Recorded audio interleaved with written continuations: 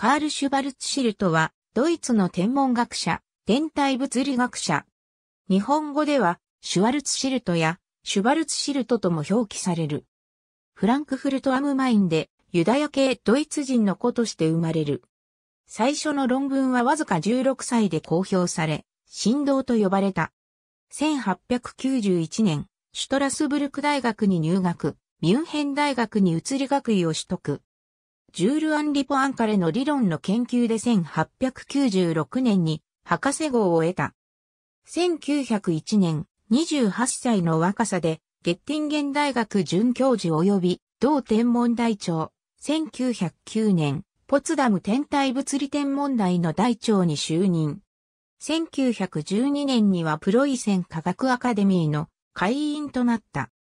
1914年に第一次世界大戦が勃発すると40歳以上だったにもかかわらず、軍に入隊した。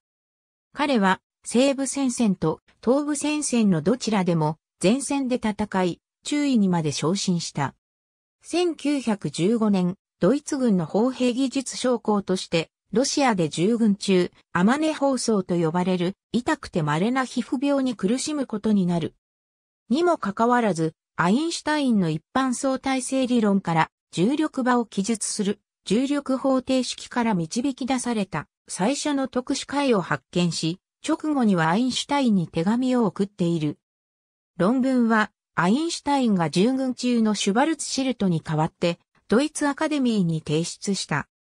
この論文では、ある空間に極めて高い質量が存在する場合、空間自体が重力で歪み、シュバルツシルト半径と呼ばれる特殊な球形の領域が発生、近い場所ではその重力で光が吸い寄せられ、領域の内側では光の速度でも抜け出せないことを表しており、ブラックホールの存在を示唆していた。